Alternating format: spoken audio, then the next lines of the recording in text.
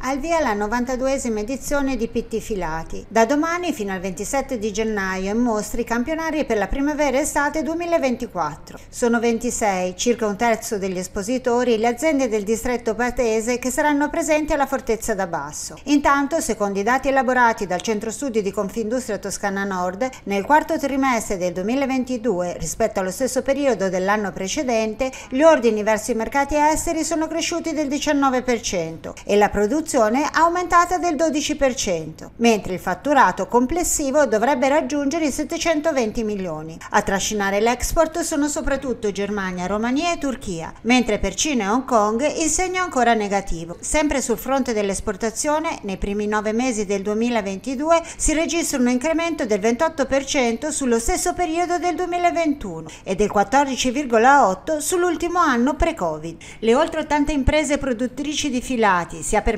maglieria che per tessitura del distretto pratese, contano più di 1700 addetti. Nel 2021 hanno ampiamente recuperato quel 25% di fatturato che avevano perso nel 2020, raggiungendo i 635 milioni, di cui 40 realizzati all'estero. Andiamo in fiera fiduciosi perché convinti del valore del nostro lavoro, commenta Raffaella Pinori, coordinatrice del gruppo produttori di filati di Confindustria Toscana Nord. Siamo attrattivi per i mercati e quindi in una posizione di forza. L'energia rimane però una criticità importante, insieme ai costi di materie prime e dei trasporti.